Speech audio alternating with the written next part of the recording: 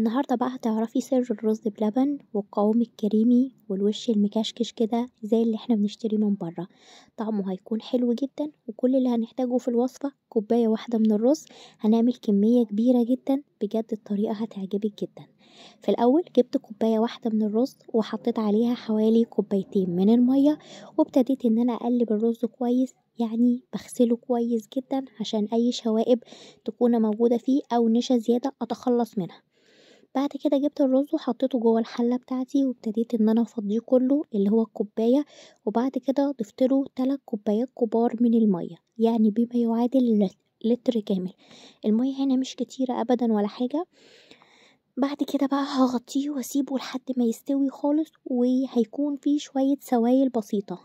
طبعا النار هنا بتكون هادية جدا وده بيكون الشكل بيكون فيه شوية من السوائل.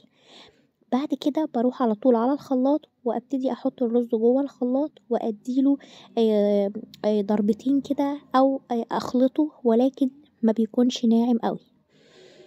الحركة دي بتساعدنا ان الرز بتاعنا يكون كريمي وما نحطلوش اي نشا. خلاص كده؟ بعد كده هرجعه الحلة تاني بالشكل ده وطبعا أنا مولعة البوتاجاز وموطية النار خالص على أقل حاجة. بعد كده هبتدي بقى اضيف الحليب. أنا استخدمت في الوصفة هنا تلات كوبايات كبار من الحليب ممكن طبعا تزودي حليب تاني لو انتي حابة. ولكن أنا استخدمت تلات كوبايات من الحليب الجاموسي كامل الدسم. هقلبهم مع بعض كويس جدا كده لغاية ما الخليط يكون ناعم وده بيكون شكله مفهوش أي تكتلات. بعد كده هبتدي بقى أضيف السكر. كمية السكر هنا اختياري يعني على حسب ما كل واحد يحب. أنا ضفت حوالي ست معالق كبار من السكر يعني بما يعادل نص كوباية كبيرة.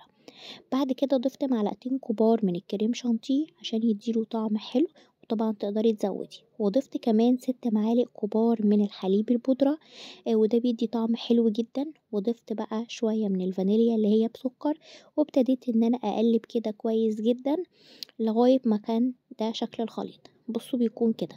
أول بقى ما بسيبه لحد ما يوصل لمرحلة الغليان بيكون ده شكله وده القوام.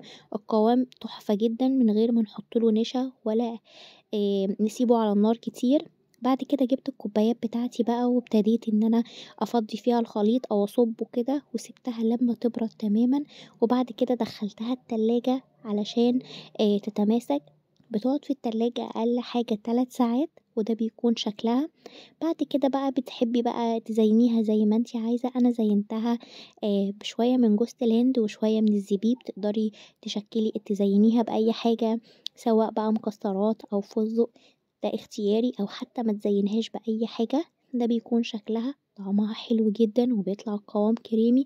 أتمنى من كل قلبي تكون وصفة النهار عجبتكم.